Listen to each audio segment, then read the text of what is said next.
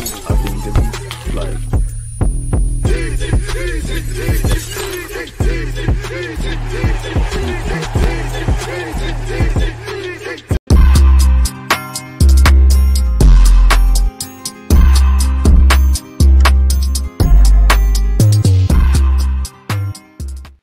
International break or not, the show must go on. He's part of the furniture here. He's doing his thing on AFTV and all the other platforms. Cecil, as usual, big love for tuning in. What you saying, my guy? all good, bro. All good. All good. Happy to be here. Welcome back. Obviously, international break, so get a bit of time. So um, yeah, man, it's good to be back on the channel. So I mean, appreciative for you tuning in. Obviously, for context, people, I gave this guy little to no time to ask if he could do a vid, and as usual, he's showing up, man. Hopefully, our boy show up after the international break.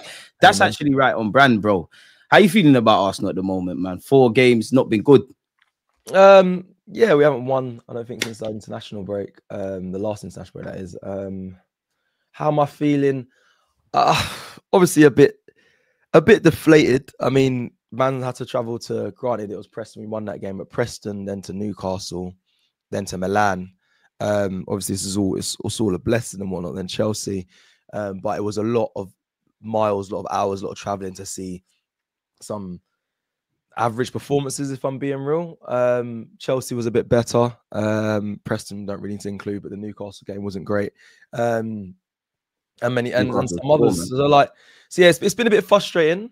Um, the move right now, I think, amongst the fans as well, isn't in the best place. I think there's a lot of uh, division between the fans, whether it, it's like Arteta in, Arteta out, um, and he's got he's under a lot of pressure, and uh, the performances they've kind of picked up a little bit, but again, the results aren't what I think Arsenal fans are wanting, especially myself. I want to see us winning games. I think we put ourselves under massive pressure now until the next international break, which I believe is in the new year. It'll be in the new year, maybe in March, I think. March, yeah, long way away. But I just think you have to. I said the thing the last stream we did that you kind of got to do it in chunks um, and look at it between in each international break, and then if not, you go from this one to the end of the year.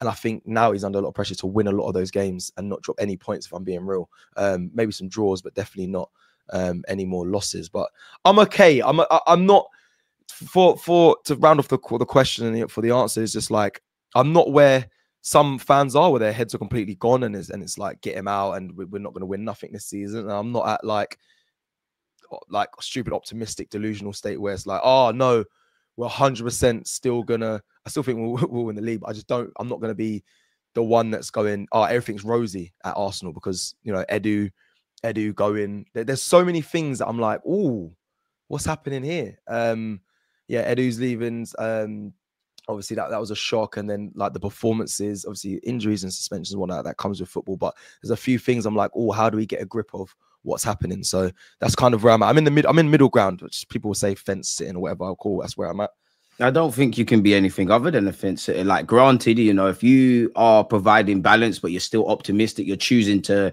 you know, comment on the negatives, but focus on the positives. And if you're choosing to acknowledge there's some positives, but focusing on the negatives, that's fair enough. Naturally, as you know, football's an emotional sport. In your line of work, you interview fans and you're on shows week in, week out. You've seen the hyper opinions. Really, it is oh, whether you're positive or negative or neutral, it's all emotional. We love this football club. There's certain men that will leave their girlfriends and cheat on their wives before they ever dare to to not watch Arsenal Football Club again. So naturally, football's illogical. But you mentioned that yeah, there about you still think we win the league. You know, what makes yeah. you think that? Because we're kind of third of a three horse race. Do you know what it is? Obviously, I'm doing one of the things I hate when fans do. Like I made an opinion at the start of the season and said this will be our year. I'm kind of sticking to it. It may be a bit naive, um, but I just think there's still. Do you know what is? I just still think there's a long way to go. I don't. I don't. I feel like there is 27 I, games. Yeah, exactly. There's a lot of games to go, and I, get it. People go, oh, but this time in, in this era in football, you can't drop this many points and in this amount of games and all that and win the league. Okay, I hear that, but I know how early on it is. Uh, to be fair, if we lost to Chelsea, my whole mood would be different. My whole, I even said this. I said if we win, we're still in it. If we draw, I'm indifferent. I don't really know. If we lose, we're out of out of it, even though it is very early on. But right now, we drew. I'm indifferent. I'm just going to stick to my my original opinion of when I was at the start of the season that Arsenal can go on, and still can win this league. And the reason why, because being indifferent, I'm not going to go to the negative side of say it's all done.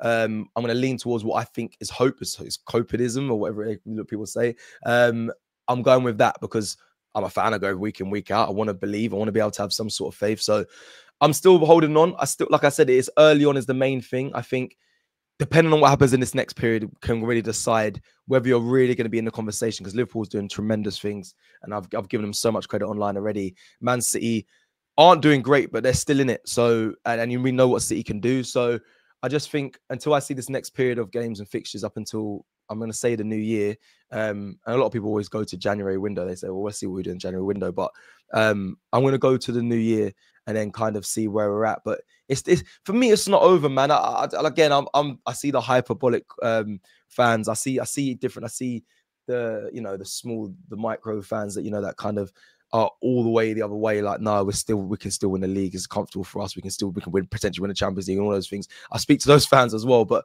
I'm kind of just in the middle ground of yeah, being the presenter of just I'm I'm still believing, but I'm very aware that this could go left very quickly. We're, we're not far from the point where I'm like, I'll never be the one screaming Arteta out the loudest, but I can see where some of them are coming from and the mistakes he's made, whether it's the transfer window, which I still don't think there's apart from a striker, I'm still not again one one side completely in the fact that oh, he really messed up in the transfer window. I think we needed a striker. I think every fan can agree to that. But some people are saying a little bit more than that. I'm kind of I'm not on that side as much as the striker. I was it made that was an issue for me. Um, but yeah, yeah, yeah. I can see that I can see the other side and what the questions they're asking to Mikel Arteta. Can he get over the line? You know what, what's going on with the style of play. I don't recognize this Arsenal compared to last season. There's so many things I can kind of align myself with, but I'm not the one going to be screaming Arteta out right now because there's still a long way to go. I think it's a bit crazy. I think in May there'll have to be some uncomfortable conversations. But do you really I mentioned it earlier? Do you really think there's pressure on Arteta? Because obviously, fans, we want to win. We've been bigged up. We've been bigging up the team. Obviously, we kissed the Premier League like success twice, but not actually got over the line. Before the season started, he got a new deal. Some would say yes. On one hand, it gives Arteta and the club clarity. You know, the manager's going to be here. Some would say, obviously, with what we've been facing in the job, maybe that tells you, you know, where the ownership are at and whether we achieve what we want or not is kind of not irrelevant relevant, but it's not. They're not as hungry as us. So, like, do you really think he's under pressure? The new deal is a good thing to point at. If I'm being real, with his his, his, his extension. Um, but in when it comes to managers, I'll be real. Extensions, whatever, it, it doesn't really mean anything. When when you when if things go really bad and they and people want you out, you go out regardless. You get out regardless of the contract. But for me, under pressure, yes. From but it depends from who. that's where it depends who's pointing the pointing the pressure. I think there's um, external pressures, not necessarily internal. Yeah, I think the fans, for a man to say there's a five year process and all this, and we're in his fifth year, um, full year, I think. And and he's he's openly said that this club deserves to be winning trophies. We deserve success. This, that's where kind the last day of the season last year. What he said exactly, exactly. His, his final talk to the fans, like he said, I don't want you to be, I don't expect you to be um, you know happy and expect this to be a successful as a see as a success because it's not but you know, we know where we need to be, and we'll be there. Hopefully, we're supposed to be this season. So I think you put your pressure on yourself. I think you've said it from yeah, like I said, True. the process was five years. So you, if he has to be under pressure, that that's why it's it's the fact that again, the nature like, of the job. Yeah, I, have screamed. I don't like I said, I won't scream Arteta out because I'm a big fan of him and I think he's, he's a genius in some senses. But you've also said things that I also believe in, and you've said yourself. So I have to hold you to your own exactly. own level of, of, of, of, expectation and and um yeah and standard. So yeah, he's under pressure, and and I think right now because I feel it when like I said at the Chelsea game, I, I the fans were coming out of the game speaking to me like, oh he's done. Someone saying, listen, it's still it's basically what I'm saying here. It's still early, blah blah. But I'm telling you, if we lost that game, because there's a majority of fans that are in the exact same position I am. Uh, we it's too early to really say anything. I don't really know where I'm at with the manager. It's not terrible, but it's not amazing. Results so, dictate the narrative 100%. Exactly. So I think if the result went a different way at Chelsea, I think those Arteta outers that are a minority, minority for now, I'd say, but are quite loud, would got even more louder. And um, that's the correct English, even louder. Sorry, not even more louder, even louder. So I think, yeah, he's under pressure, especially it comes towards, like you said, in May there'll be big questions. I even think, do you know what? Bun that. January, there'll be questions. Because if you go into a January window where you think you can get by by just not making any signings and expect Arsenal to go on and win, win the Premier League title, I promise you there'll be fans in uproar. Because when you haven't addressed a striker, don't get it twisted. It's not just this summer. He hasn't addressed a striker situation from way back. Okay, I think he hasn't really signed attackers like that, and when he has, they ain't really banged in comparison really to the defenders and whatnot. Even Gabriel Jesus, if I'm being real, no one saw Gabriel Jesus sign it as a bagsman. They never said, right, yes, we're getting that striker. We're giving him a platform. Let's see what he can do. Exactly. We we never we never saw him as that striker. So even that was a bit underwhelming at the time. Fair enough, he done well. He was playing with the false nine and and whatnot. It worked. We come we came second in the end. We didn't win obviously the Premier League, but it worked in a sense that it pushed us back up there. But now we are really looking for someone who who can who can well bring us the trophy. It's not even about make a difference, get us back playing properly, whatnot. It's nothing about we've, we've we're at that stage already. We've got back to playing playing where we need we need we need silverware. We need the the big game player. So I think January there'll be pressure on him as well. I, I think wait until May will obviously give maybe the final nail in the coffin. But if you don't do the right business in January, um, especially when you haven't got your sporting director there and a guy who, who was involved massively in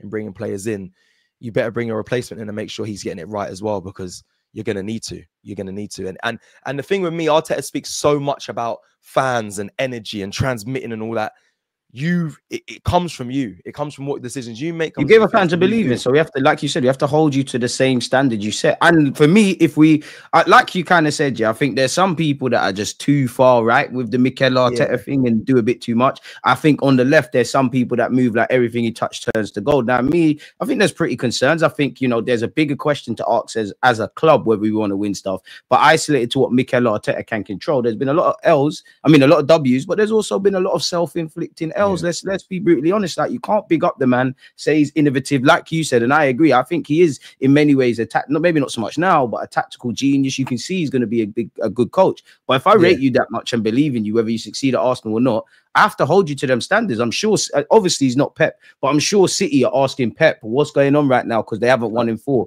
or the same with Klopp. So it's it's a techie one. You mentioned it there, yeah. Do you think we need to boost something in January, and do you think we will? Yeah, yeah, yeah, we have to. We have to. We have to. Do, do you know what it is? Oh, I've been doing a lot of um. Obviously, uh, this is my job, um, documenting and covering Arsenal. I've been doing a lot of like just. I've had some bit of time off actually, funny enough, and just doing some deep research on I don't know loads of videos, Tifo, all those little things that talk about the style of play at Arsenal doing and whatnot, and how we've. It's hard to. I don't want to say regressed. What is regression uh, from last season when we were slapping teams after that Dubai trip, fives, four, six nils, right? I was looking at like the free flowing football was playing a conference we had in the team. So what we do now when it's like Havertz drifts to the right and helps out Bukayo Saka. We haven't obviously had Martin Odegaard, so the the the, the glue or the or the the the cog in that middle to link the, the nucleus of our team. Odegaard, yeah, man. exactly. Because that's gone. I was thinking, okay, cool. We, we, don't look as attractive. He's he's the he's, he's strengthening defense, so he's looking. He's more concerned about you know losing goals and and and not well, yeah, losing. If we can't score, don't concede. Kind of yeah, basically not losing, yeah, losing points by not winning games, right? So he's like, let's just show up the defense. So that makes you more defensive team. I know he's been criticized. Uh, uh, Tapa, uh, whatever, Paella Pulis, all them stupid stuff. Stoke City football, everything. One minute it was Klopp, um, and then it, sorry, it was Pep, and now it's Jose, and yeah, the goalpost move. Like, and people love to, to make narratives because, like, sometimes I, I, I'm sorry, I'm darting between points here. No, like, go ahead, man. This dark, is why you're here, man. I want to hear everything. Trust me, like the dark arts and how people got annoyed at that. But one, there was a, there was years where we was too soft and we had no cojones, and now we do dark arts and we're quite an imposing team. We're Facts. massive, we're six foot, and people want to make make criticisms about that. Then like last season again, we're battering teams. Everyone thinks, oh my god, look, Arsenal back, they're going to win it, and then now we're playing defensive football to kind of show out games and whatnot, and people getting annoyed at that because we're not playing free flowing football, the Arsenal football that we know. But I actually honed in on that because I, for, for me as an Arsenal fan, I take pride in the way we play.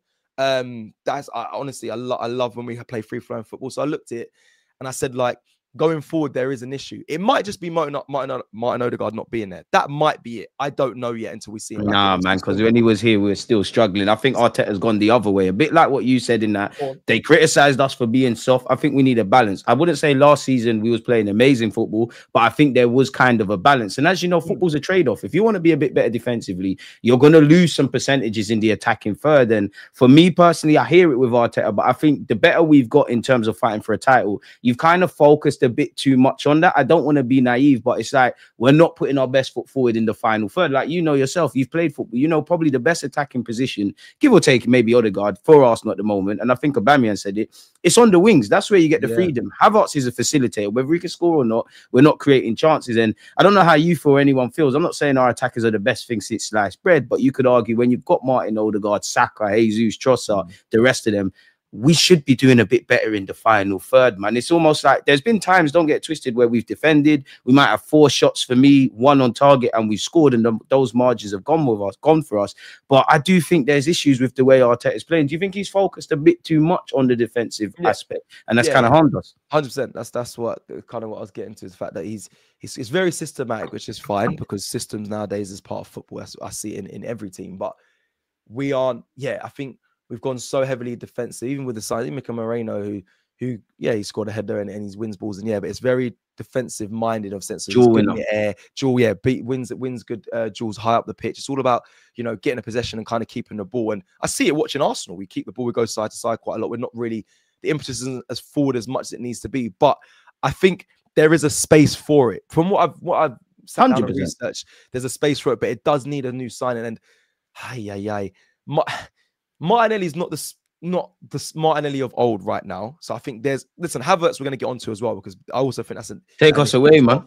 Yeah, not I'm not even gonna say these are problems because they've done well, but I'm saying we need to up upgrade if we really want to really kick on and win this title. Because the reason why I say it is because I think we keep the ball well, but when it comes to in behind runs or speed going down the wings, from recently Martinelli hasn't had what the impact he used to have. He decision making is horrible. And, yeah, he doesn't slip in and beat his man with, for pace anymore. In my opinion, I've seen it many times. Where I've seen him do the the one on one runs. He doesn't get the goal from it when he's going on against the keeper. He's not clinical enough. And then also when he's being run out, he's not always winning the race, which I used to see he always does. And then the players we brought in to kind of replace that, Trossard has no speed. So not no speed. That's harsh.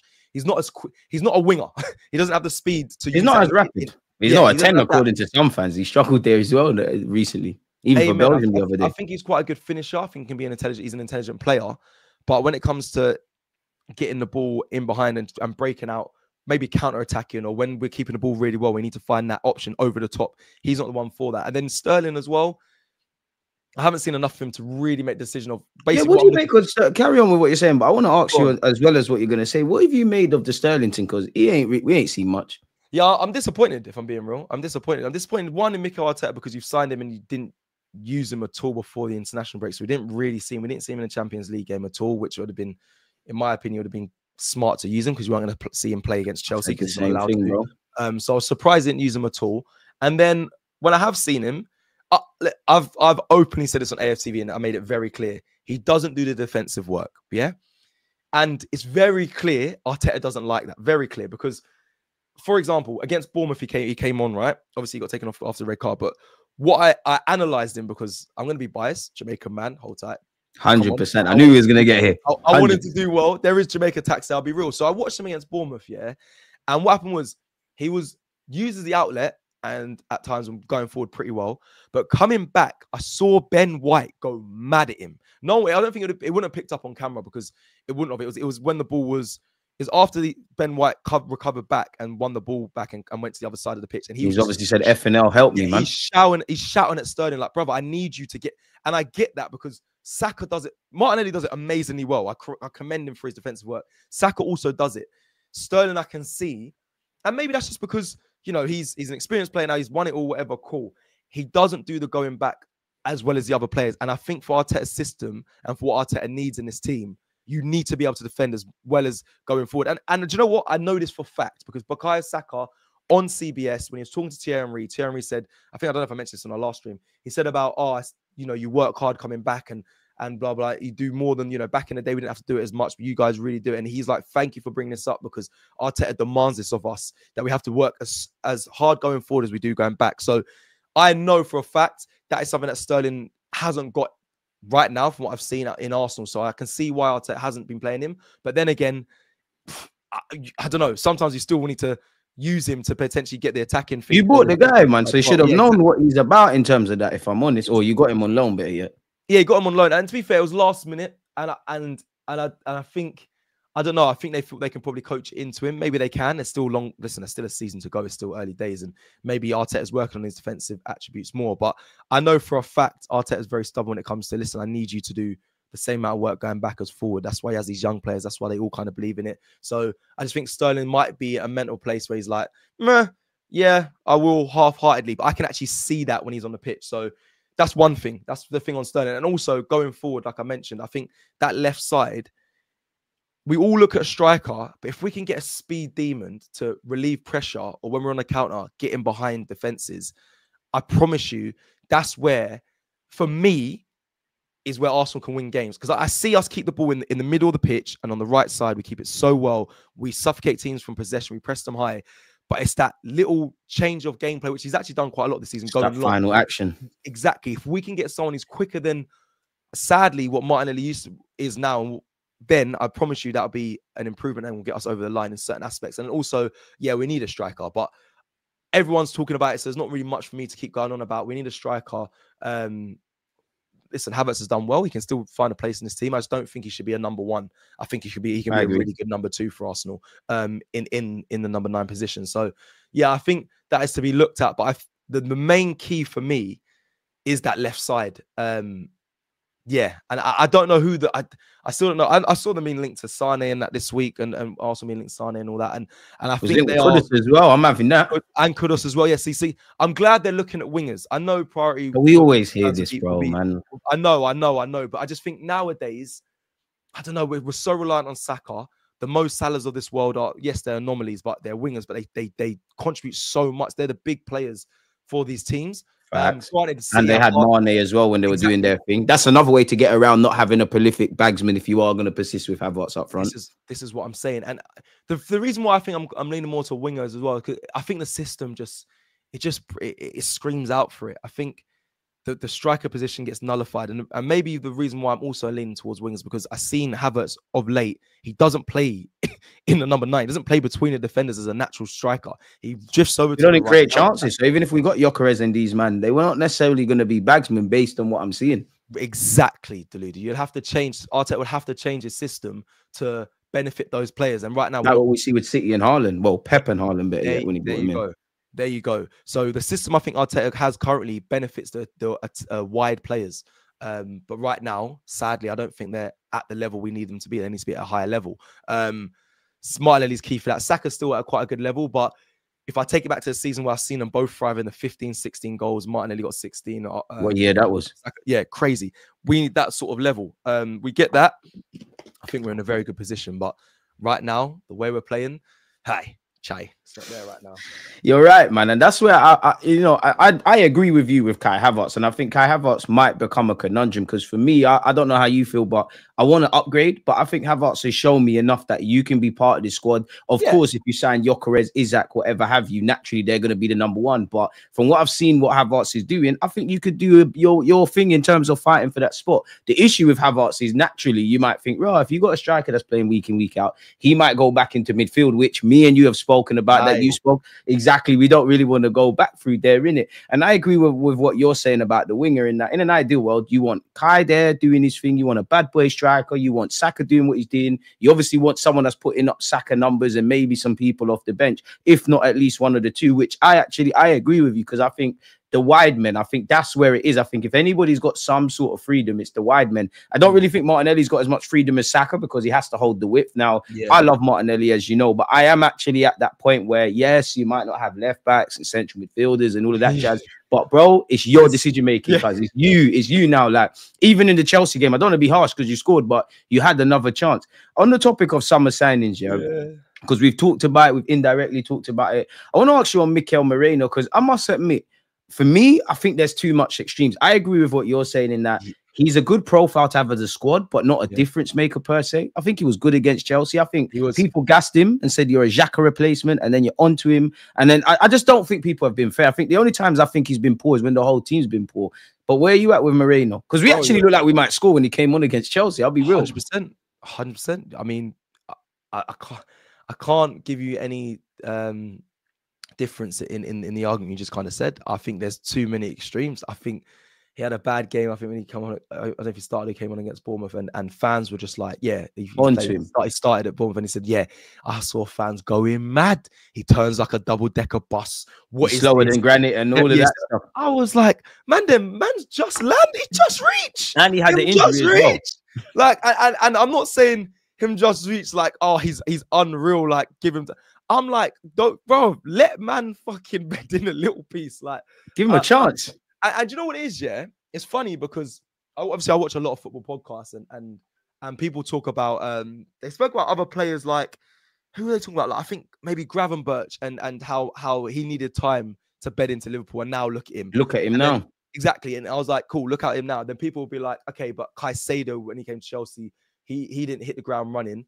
Um, and I was like, yeah, but then they went to price tag, which is a big factor. 100 million for Caicedo, you expect to hit the ground running. I was like, is that fair to say? Yes, Declan Rice, when he came to Arsenal for a record fee, there wasn't time for man to bed in. I'll be real. And Agendas. and I, I think that's fair. Like we had to, I had to say to him, we had to say, look, brother, get get going, and he did. He did. Fair play, Declan Rice. When you get that price tag, you have that much pressure. You have to, and you're you're known as an elite midfielder. You've got to kind of hit that hit the ground running. Mikel Merino, fair enough. He's he's a Euro winner, and I'll be honest, the fee weren't massive, but give him a bit of time. There- there's qualities there. I've seen enough to say he, he can be a player in this in this midfield. He's he's gonna he's not a bad player. I think what it is, fans like you said aligned him with Granit Xhaka, and then they also said, look, especially the fans I spoke. Remember, I think I said this on this on this pod before as well. When in our strongest midfield, all the fans were saying Mikel Merino places Partey. Like there was no conversation. As soon as he's fit and ready, that Partey was, was done. straight swap. Partey's done. And and I was like, I remember saying like, I don't know, I don't know about that actually. But they were like, no, trust me. I remember Turkish James. Everyone, actually, not even just them. Everyone I spoke was like, as soon as he's fit, he'll be the starting midfielder. Now, Partey's on good form. He's been really well. He had a good run of games, and people aren't screaming for Mikel Merino to start. But I think he will eventually take that place because he has got the qualities. I've seen him, especially at Newcastle. He, he in tight He's areas. one of our better players in a, Yeah, another crap day, if I'm honest. he keeps the ball well, scored a header not too long ago as well. Obviously, he is an aerial threat. I just think, like you said, you you you honestly spot on with what you said. People just went a bit too far one way and a bit too far the other. I'm I'm I'm happy with him. Obviously, the jury's still out. I still need to see more, but I'm happy. I'm not. He's not a problem for me right There's a lot of problems. He's not one Yeah, of them, if I'm honest. He's he's not someone I point the finger at and say you're the reason why this thing ain't working. No way, not no way, no way, no way. And and and you know what? I've been a player like it does take time to to come into us. You're coming from a different league, just to bed in a little bit. And yes, there'll be examples where players do just drop in straight away, but give him a bit, give him a little bit of time. Just give him a little bit. And and even if you are giving him a little bit of time, see what you've seen so far and say, oh, are you really the issue here? Because I promise you, he, he shouldn't be. He shouldn't be. That. everyone you look at in that team, and you look at Arsenal, you shouldn't be putting your finger at him and saying this is the reason why we're not what we're doing last season or we're not winning games. So yeah, I'm I all right. think you're bang on the money, bro. I think you're bang on the money. Obviously, defense wins titles, goals score, ga- goals win games, but it's the midfield. I think the wider discussion is how Arteta's assembled the midfield. I'll be real. Like, I like Arteta. I like the fact that he's almost, it's like an 11 players, but there's a mini team and they all interject. You know, as you mentioned earlier, Havertz is pulling out to the right, dropping inside. The def- the wingers are putting in a defensive shift. Where you look at what Mikel Arteta has done in midfield, obviously, there's no contingency plan for Martin Odegaard in a creative and defensive kind of aspect. He's not blooding Ethan. I think it's got nothing to do with Ethan. I think it's because Mikel Arteta is not looking for creativity first, or you would play Ethan. It's all the other aspects. And I think where you look at the midfield, I'm not saying don't make, don't change Rice, don't develop Rice, don't do all of that because he's improved. But you, for devil's advocate's sake, you've taken a, a top class, world class household name number six. You're making him at eight. You're making Partey, who's doing quite well, but it's evidence falling off physically. You're making him play right back in central midfield. And even Partey is kind of the linchpin of our midfield. You're taking him out. You're making Merino, like you mentioned the Bournemouth game. When I watched it again, one minute he's he's the lot, he's the deepest six. Then he's joining the press. You, it, it's, I think the wider discussion is how Arteta at this moment is assembling the midfield. And for me, it's mm. the profile. I like Merino and what he can bring to the table. I think you're a level raiser, not necessarily a regular starter and whatnot. Obviously, form dictates it. You've got an aging Partey. You've got Rice, who's at eight or a six. I think we're missing that Santi Cazorla, that Cesc Fabregas, that line breaker, but it's neither here nor there kind of thing, if I'm honest with you. I wanted to ask you because we've indirectly been going over it. Yeah, you see if Liverpool under Arne Slot wins the title. How do you look at Arteta? Because I'm sure you've been asked that because all the stuff about processes and you need time. And while I don't want to draw too many conclusions on Liverpool, I don't want to say they're perfect, but at the end of the day, they're putting in performances. So it's like a lot of the arguments at Arsenal are redundant, bro. If he wins, that. this question. has He's crazy. He would have already matched Klopp as well. in the the- face so many times this week. This question has literally RKO'd me out because, firstly, firstly, yeah, if he does do that, huge achievement, brother. Like, I, uh, like, I don't know if it is it an anomaly potentially. Um, I think back in the day, who's won it in the first season of the Premier League? Did Sir Alex? No, he didn't. Did Um, do it? Ah, sure, yeah, someone has done. know. Someone's done it. Someone's done it because I remember. I think I did some research on this as well. But anyway, first, it's a huge achievement. One, if City don't get charged and whatnot, and and he does it with them still being who they are, massive. Beats us to it as well, which be will be mad. Less money spent as well. Did only got Chiesa, who's not been a yeah, in really. Exactly, most of the time. If that happens, bro, yes, like it's peak. It's peak for Uncomfortable it's- it's peak- conversations, It's peak for a lot of teams. Mainly, it'll be mainly us. Mainly us will be will be getting pointing the finger out. Of course, of course, because we're we're gonna get we'll get absolutely obliterated by rival fans. But Rightly so, if I'm honest. yeah, and and and, and like I like I said, credit to him because that will be the biggest. It'll be huge Facts. achievement, huge achievement. So, but yeah, I would be questioning a lot of things. I'll be annoyed, very annoyed. I'll be like, how can man just roll in and do this? Granted, the Liverpool team's still a good team, but uh, I honestly thought there'll be a drop off, a massive one. So I'd have to just take my hat off and say fair. I'd have, have to hold a lot of smoke. We would have to hold a lot of smoke, and rightly so. Would I question Mick Arteta? Of course, I'd have to. You're talking about five year plans and processes where man comes in and just does that. However, and I'm not, I'm not gonna, I'm not gonna, uh, you know, back Mikel too much if it does happen. But I just, I also do think where he brought Arsenal to where it is now, I will also say well done and thank you to Arteta. How that. far does that go though, bro? Because I'm like you, and I have I have to check myself when I say that. I'm like, because Yeah, a lot of fans do say that. Like, he, you have taken us from the trenches, which is great, and I applaud you. You know, there, there's a heartbeat in the team, and you know, I know people yeah. People poke fun at Mikel Arteta for the dog called win and all them kind of stuff. You've developed a winning culture, but you haven't won. But, now the yeah. conversation is getting into the club. We've got ready. We've put on a nice cologne. We've driven to the dance. If the Premier League was the rave, we need to get in. Yeah, Have you got your ID? Have you? Can you get in VIP? Well, Can you be like, old Cecil, can we get Q jump? Can you win it now?" Yeah, yeah. Well, that well that'll be that'll be the that'll be the listen love for. Like I said, I wouldn't if if Arne Slot won in the first season, I'd say okay, Arteta, it might be time for you to to potentially look. to is he the guy that's fixed it up for another manager to but do a ag- madness? there you- this this is what I'm getting leaning on to. I would still be respectful though, because I think fans, if that happened, yeah, because of the smoke Liverpool fans and other fans will give us, I think it'd be very toxic around Arsenal. The fans will be going in on Arteta.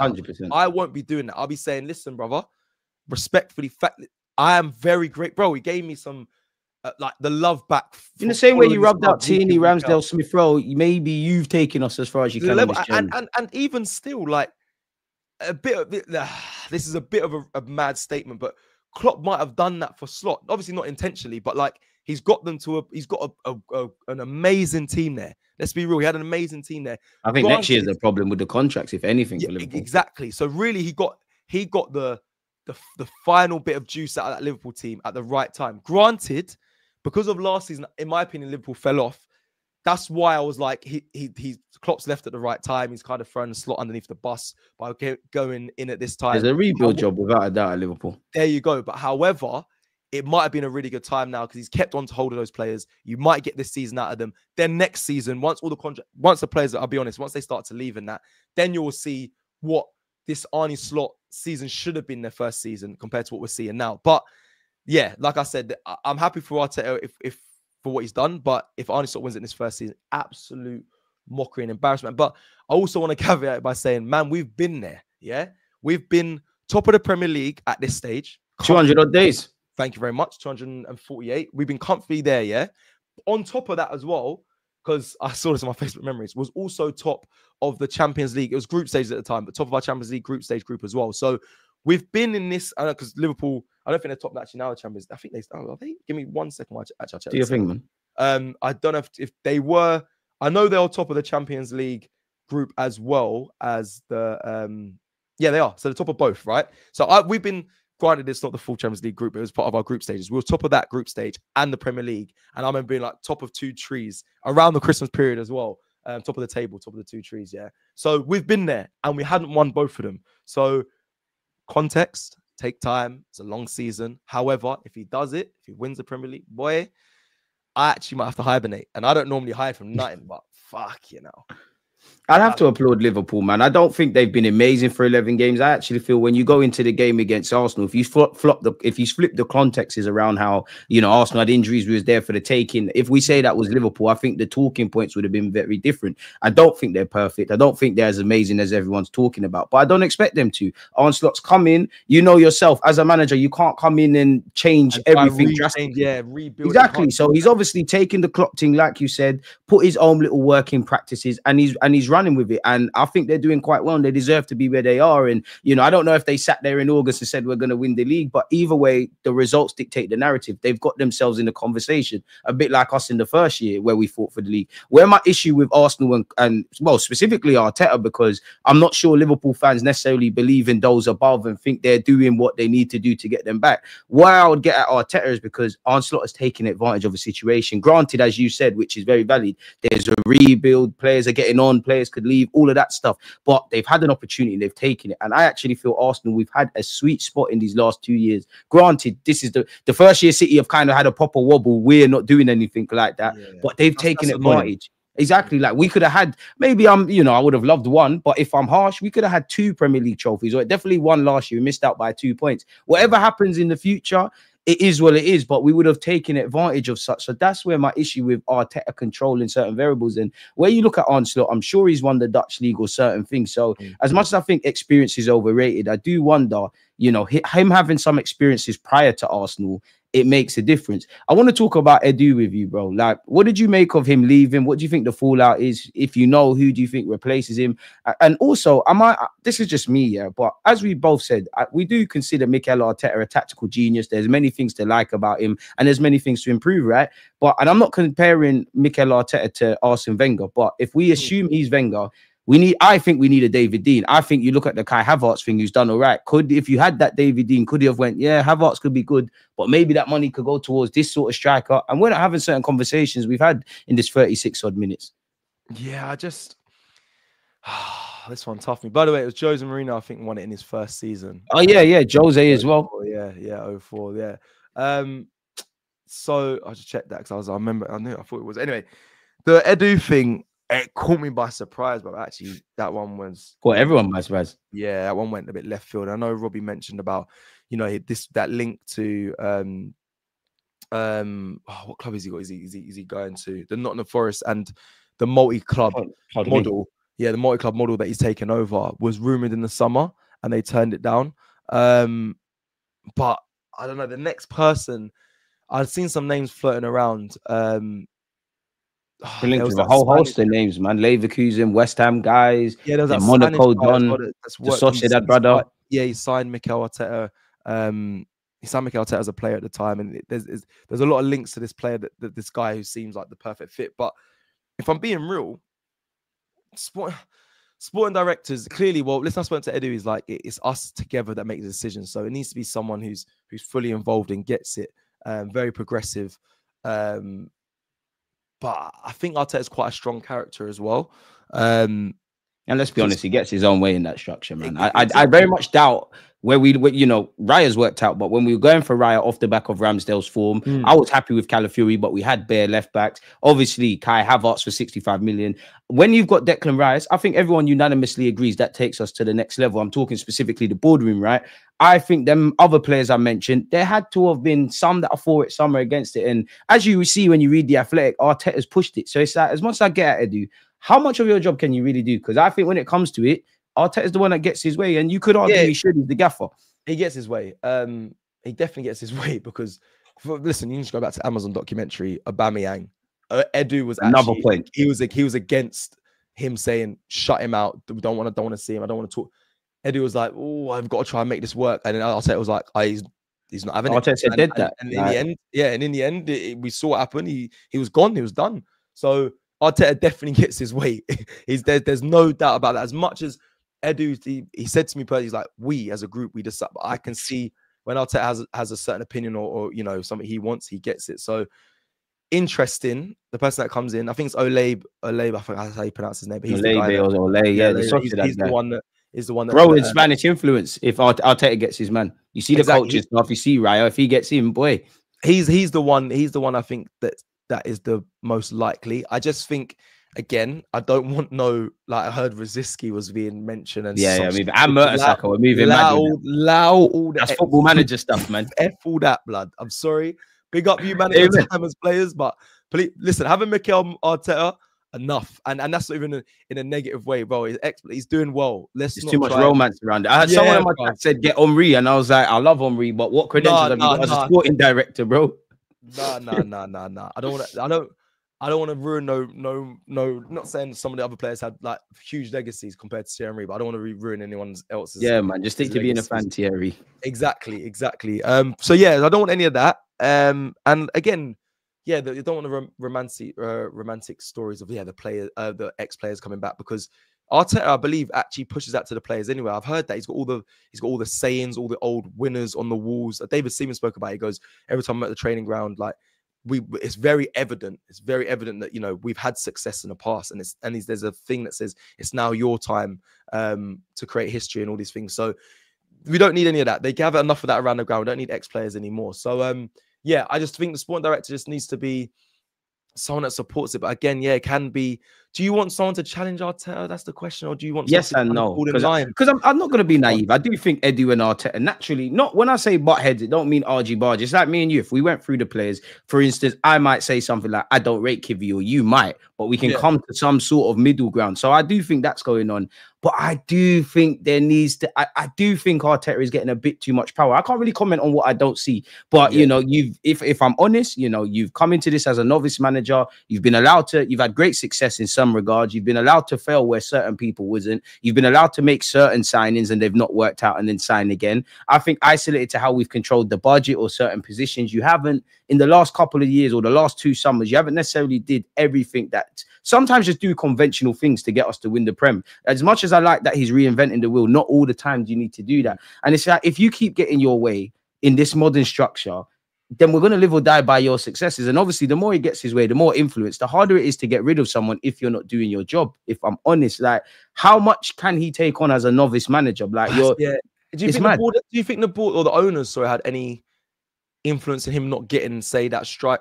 But do you think Yeah. he got fully backed, or do you think because I, I think he probably did. I, am trying to every time when we go to America, we speak to Kroenkes, they say like they fully back him and they give him what he needs. I'm just trying to just be like, I'm trying to think because again, yeah, you're right. uh, There must be someone in, in the direct in the sporting director who comes in and says, look, bro, we get this team clearly needs a striker.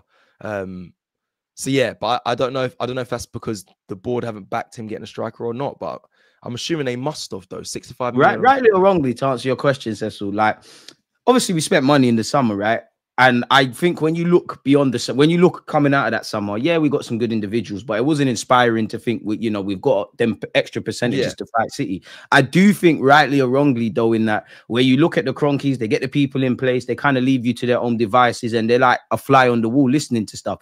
I personally think they said, I'm not gonna lie, Arteta, I hear you, but you lot have spent some money, you haven't really got the best in terms of outgoings and all of that. I genuinely think they've said this is what you have to work with. You lot need to work on sales because you lot have swindled the peas. Where you Fair. look at Lokongas and Fabio Vieira's, and you know, there- there's been a lot of, of shift. Now, I don't think it's necessarily Arteta or Arteta's fault that Gabriel Jesus and Zinchenko haven't banged. I think the system just left them. But they could argue you haven't got too much bang for your buck out of that. We brought Tomiyasu who couldn't stay fit. You've got Kiwior. You're telling us about another defender in Calafiori. I just think they haven't made. I think they just haven't. I think Edu and Arteta haven't managed the budget correctly. If I'm honest, if, Yeah, that, that's the, that's how I would look at it. But then No, you could argue the caveat of the Kroenkes, like, do you not want to be winners then, or are you just happy to be in the champs? Because you could argue, bro, since we've had these last two years or three, well, yeah, no, two years in the Champions League. I think the Kroenkes maybe taking their foot off the gas. I don't think Arteta has. I only question how Arteta is going about winning the title, but it feels like we're getting into that scenario of Champions League football. We're kind of complacent. Yeah, no, I hear you. I hear you, and and and and, and I think both both arguments are right. What you're saying, I think, that, yeah, he, he's he's still he seems like he's still keen to obviously get success for the club. That's all he talks about. But yeah, um, they, they he has spent money at the end of the day, and some things haven't worked. I think the sales thing was definitely spot on what you said there. They definitely had an emphasis on getting players that that, that are rotting away in the club, get them out, find a way, find a fee, get them on loan, whatever. That was that was a clear, clear priority. This this that this last window that's just gone. Um, but yeah, the going forward, you need to you need to push and a sporting director that if I'm being real, oh, I don't know because all the signings we make, the, all the players, every player mentions how well Arteta speaks, and as soon as you sit in a room with him, you're bought, you, you buy into what he's telling you. Being at a press conference, bro, I believe that. I don't think it's lip service because I've been at Arteta conference and he does have that aura where you kind of want to listen to him and like he seems like a very interesting person. Facts, facts, facts, and you can believe and you can buy into what he's saying. So that is key. I, the only reason I brought it up is because I, I wanted to know, like, I'm trying to think, does Edu and that is that a big part to why players sign? I think Edu obviously scouts or finds the players, and then Arteta will see, and, and if he agrees with the client, nah, and then dotting eyes and crossing T's, bro. If I'm yeah. honest with you, yeah, maybe if it's a Brazilian don, no. he might be able to add to it. But I uh, hear yeah. you. I hear you. That's the thing. I, I don't know if I don't think he's the one doing the whole getting the player really to put the pen to paper because Declan Rice always talks about how, listen, once I spoke about Arteta, I knew this is where I wanted to be. All like, of them, like you said, yeah, yeah, literally, he's like, they, he sold me the the the dream and that. So, so yeah, so I don't know. The sporting director, if I'm honest, doesn't have. He's not. He's gonna have obviously an impact, but I'm not. I'm not fixated really on on on who we bring in, as long as it's not a, a dunce, if I'm going to say that. But if I'm being real, I think Arteta won't allow it to be. It won't be no one that that doesn't that's going to basically fold. Should he or... have that much of a say though? Because like you just said, Mikel Arteta wouldn't allow wouldn't allow it to be. It's where we Should are. have a say like that. It's where we are, and the reason why I say it is because the Kroenkes really they really buy in to Arteta. I know, yeah. like, brother. Every time I speak to them, they're like, whatever Arteta. They're very much like because I feel like not that they not that he saved them, but well, well, well. He Arteta he did, was a big part of what bringing. Been no protest since Arteta's been the gaffer. He definitely saved some of it. And, and, as much as they will never admit that, I think they really appreciate that. So, that, so whatever he wants, I feel like they're kind of like, just do it because listen, look what he's done for us so far. I know we haven't won anything, but from an Arsenal fan and being inside the nucleus, you know that like they are just going to do whatever he wants. And, and you're right. Should he have that much power? That's another conversation. I, well, we haven't won any. If you're winning constantly and getting success, yes, but he hasn't got that now. So this is what I'm saying. So potentially, this is why it gets to a point where you get to a stage where it's like, brother, we've you've had everything. you, you we, everyone, believes you, everyone trusts you. You have to deliver. So if you don't understand, the only way really is to go. So that so, and I've actually kind of come to terms with that on this video. It's a big up. Uh, yeah, I think that's, that's how it is in the club. I think they very much trust him, the, the owners. So he gets what he wants, and it, that's fine, all well and good. But you have to bring success with that. So this is probably the final year Maybe not for the. I'll be honest. Maybe not for the Kroenkes. They might. Nah, they're definitely not. They've they shown that they won't listen and make popular yeah. decisions. Some have worked, some ain't. Exactly. So I think it'll be a very long time till they really are convinced to get rid of him. But yeah, I think he has got a lot of power that can be actually at our detriment if I'm being real. But we, I don't know yet until this end of season. I, I, I, I need to see. There's no for me, there's no you have to seal silverware this season. And even though the goalposts will move with the silverware, but you need to get silverware. Whether it's the League Cup, FA Cup, by God's grace, Premier Champs, you have to. I'm not even being that that that obnoxious. Has to be the made two majors, brother. Silverware. Your name or Arsenal's name needs to be there because people can say you got the same legacy as Ten Hag, or Ten Hag's won more trophies. and, and look and, and, and, I hear that that is a factual argument, even though the club was in the they're in complete completely different places, and I'd rather be where we are as fans. hundred percent. I'm telling you, that none, none of the narratives run until in the end of the season if we don't if we're not lifting. I'm not seeing armpits from players, bro, because hey, there's gonna be some there'll be some even from me, not as again, I will never be the the crate the but no, no, t-shirts and all that, banners and all that. But I'll be definitely asking questions and, and rightly so because you have everything, brother. You have all the power. Um, even in press conferences, I even hear you don't really talk about I haven't had this backing or we've had we struggled here. It's all about you know, whether it's the referees or or situations. And he keeps, I know it's lip service, but he keeps saying the Kroenkes are backed me. So exactly. I know it's lip service. You're not going to get your employers, but you're saying yeah, it. But then, then if you're saying it, bro, we got to go from your words. So yeah, it's on you, brother. And it, I think he knows that, but then understand the pressure and and, and the consequences right. from it. You have to, you have to, you have to understand that. And it, it aligns with when we're at the stadiums and sometimes the teams start flat at home and or away even away and and he's is like oh the energy from the fans.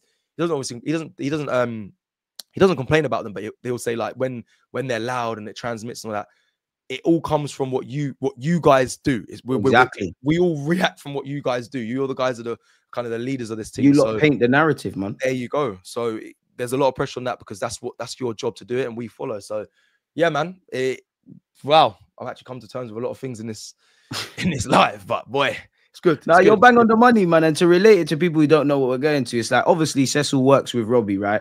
Is if if if Cecil goes to Robbie, I need this camera, I need this mic, mm. you know, I need these tickets, I want to interview this, I want creative control of that. Let me do this, let me do that. Robbie might say, you know what, you're talented at what you do, Cecil. Do your thing. But if you don't deliver, if the interviews are rubbish, if you're not asking the right questions, if one day you're at it and then you're not, naturally, yo, Cecil, you might have to go. It's as simple yeah. as that. Like this that, is you, this way. is what comes with it, bro. It's a great way to look at it. Like, Brother, it's as simple if as I that, get backed, yeah, if I've got a full back in and I don't provide, it's only right you get questions asked. And it's and if anything, you have to sometimes go, especially if you really take the take the take the piece. So um, as in take the piss. So yeah, man, that's a good, that's a very good way to look at it. Very good way to look at it, and and and that it even gives me more clarity on the whole situation, bro. When when the higher ups are giving you the backing, you've got to provide. And and yes, you're very good at what you do. We're aware of that, and we can commend you for that. But then when you get more and more trust and more backing from everyone, and you've got it all, you have to deliver. Because what what other excuse could you have? You can't. Right. It's you. So yeah. This is what's jarring obviously, I know you're pressed for 10 minutes. So I've got a last couple things for you. Yeah, we I can't not have you here with one minute. You know, Ben White was out for four to six weeks. Apparently, he's out for 10 to 12 weeks now, where you're relying on Calafiori and Timber who've had their issues now. And these are the games, you know, Forest, Sporting, West Ham, United, Fulham, Monaco, Everton, a double header against Crystal Palace, Ipswich, Brentford, Brighton, Spurs, Villa, Dinamo, Wolves, Girona, and City. This is the prospect of what Benjamin White's missing out. How do you feel about that? And obviously, we got well, it's gone now. But Declan Rice was, you know, broken toe playing with issues against Chelsea. What have you made of the injury kind of outlook on our team? We can't pay players to stay fit now, man. No, you can't. But it happens. It's football. Um, being very aware of it. I think Ben White was pushed, pushed to, yeah. Uh, They've known about that, man. They've known he's needed to have this, surgery, this, So I'm just trying to, I'm trying to think how to work. I think it was pushed to take time to go and to go and get this surgery because, again, the reason why I believe Again, I'm no ITK, I have no inside information, but it was early, it was quicker re- return time because I think they were going to just manage it. But now they're like, because he, he, openly admits he plays for injury all the well, other players he lies about being in, not being injured all, so he can yeah, play as well. The man's a Spartan. We've heard about this for so, years. So what I think is, I think it's a long term injury that he just was just managing, and then they're just like, look, let's just get it fixed. Take the time out. Just go and go and rest. Go and go and take do the surgery and recover properly instead of just managing it playing through injury, allowed that. So I think they waited. I actually think they waited until Calafiori was back as well. I think I think it was all, uh, especially just this is just for Ben White by the way. You need Tommy to stay fit. He, yeah, he he needs. Yeah, we need him stay fit. I was with Screw, but I think they'll just again. It's because this is all allegedly, but I think they're just waiting for him to Calafiori to be available um, and back from his injury, so they can get Ben White go and actually have full surgery and full recovery. Um, I believe that Declan Rice, the broken toe. I spoke about this before, brother. I played with a broken toe. It's not it, like even when I was at a club, like it depends what toe. If it's a big toe, it's different. If it's like I don't know, a pinky or middle of one of the middle toes, you can play through a broken. You just strap them together. You can play through a broken toe. It's not that deep. If I'm being, making him take dead balls and no, and dead and set pieces still though. He's yes, killing himself, man. I'm saying, bro, but but I'll be real. Like you can play. It's not that. It's not that deep playing with a broken. Depending on again, depending on what toe it is. It's not that deep playing for with a broken toe. The only thing is, it can't get time to heal if you're constantly playing. So yeah.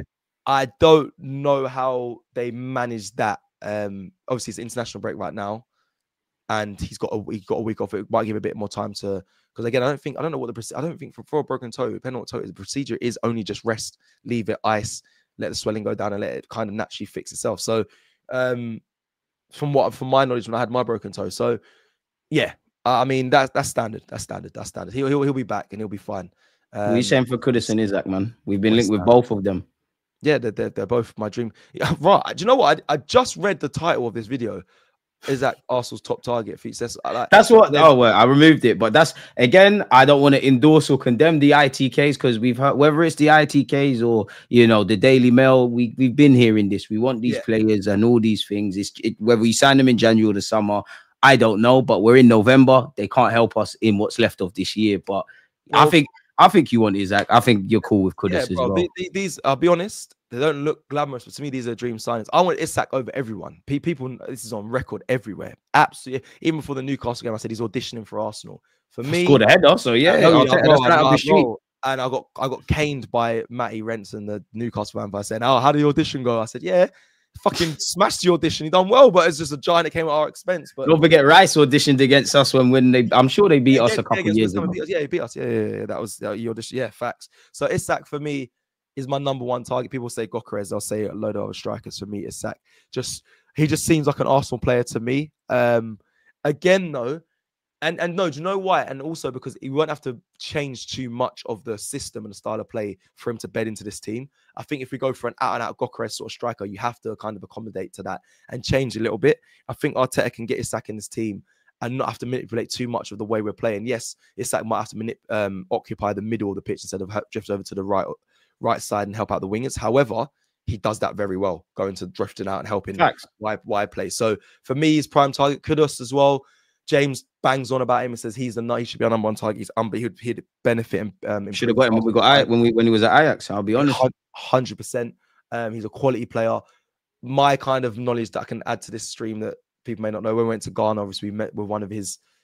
I'll be honest, it's, it's a guy that represents him, shall we say? Um, um, Kudus, him and um, Thomas Partey. We spoke. I spoke to him in Ghana. He's also likes Arsenal. Um, Kudus as well. So he's You won't have to come out of London, bro. Goodness, join us. Call So- Declan Rice. Invite so, yeah, Arteta over. Let's make it happen. exactly. So really, it's kind of on. If I'm honest, it, from where I'm, where I'm standing right now, and from what I think about, It's a only- money all- all- yeah, all it really is on is the clubs letting these players go, and how much money you can front. So it's more, I think, it's more in our shoes rather than you know them staying. I think it's more on what we do to get those sort of players. And if we do, I'd be extremely happy, extremely happy. Bang on the money, Cecil, man. And obviously, I know you're pressed for time. You got a meeting, so I think that was the best way to wrap this up. As usual, it's always fun talking about Arsenal. I've got a lot more from what you said to ponder about Arsenal, and I think I'm more in a decent headspace. I don't know if that's going to persist with Nottingham Forest, but yeah, let people know they can find you. Not that you need that, but go on. Yeah, no, you're right. I'm in a, I'm in a pretty good headspace. I'm probably because I've got I've actually got a bit of time to have a bit of a break, even though today I'm back to back on meetings. But yeah, I well said. After this live, I feel like I've just kind of spoken out what was kind of in my mind, and I feel better. Let's just hope, like you said, not. It could be a, this could change in an instance as soon as we're back, but we'll see. Um, Cecil underscore G J W E that is, and then Cecil C C I L. You know where to. If you see me, you see me. You know how it goes. Um, but yeah, love everyone. Again, always love to the people listening and following. Make sure you subscribe and like and hit up Deluded all the time, man. He does great content. So thank you, bro. Come on, my guy. It's always lovely to be here with you, Cecil. Tell Robbie to answer his phone. I've been pestering him. I need to make my return to AFTV. We're, we're letting the fans know we're putting Robbie on blast. But yeah, enjoy your meeting, my guy. Don't forget to follow people. And yeah, man, bless, man. Hopefully, Forest, we got three points, lad, man. In a bit. Love. In a bit.